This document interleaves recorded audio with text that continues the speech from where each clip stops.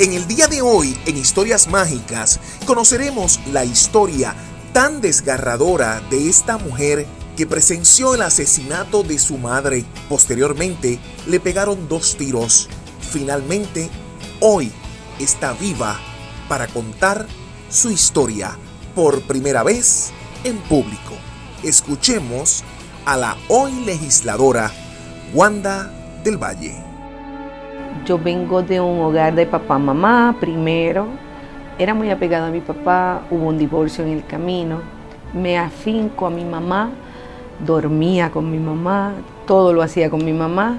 Vivíamos ella y yo solas, entre cambios de casa, entre tratar de buscar estabilidad, mi mamá tratando de ser estable, cuando al fin y al cabo logra tener su sueño de tener su casa. No pasó más que un año de ella tener su casa de propiedad cuando este hombre la toda la vida.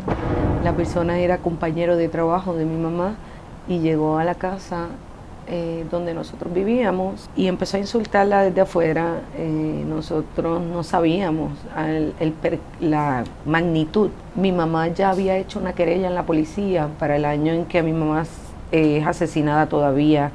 La ley de violencia doméstica no estaba aprobada.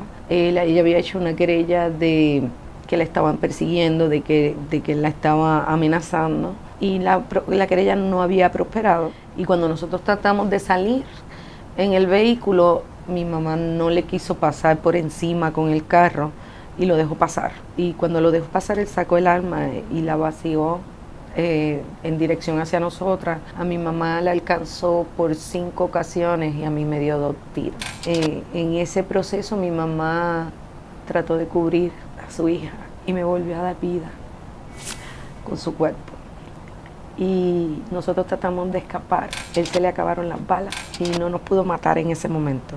Eh, el vehículo de mi mamá cayó al lado de un barranco y él si me iba a dar con su carro me, se iba conmigo por el barranco y la persona decidió arrancar e irse. Él tenía un listado de personas que iba a matar. ¿Estaba usted ahí? Y yo estaba en la lista, estaba mi familia, estaba mi tía, los hijos de él, él tenía una lista de personas para quitarle la vida. El agente trata de quitarle el arma a la persona. Él estaba de rodillas en el piso y cuando se disparó, el arma le atravesó la cabeza e hirió al guardia, al policía en la barriga. Cuando yo cumplí 19 años, yo tuve un encuentro personal con Dios, porque yo vivía con miedo, yo vivía con persecución, yo vivía yo sentía que me estaban siguiendo, que todo donde sonaba un tiro, me iba, el tiro me iba a llegar a mí. Eh, eran unas sensaciones horribles. Mucho más allá de religión, aprendí a conocer a Dios y aprendí a perdonar. Cuando tú aprendes a perdonar, tú superas muchas cosas. Pero no aún así.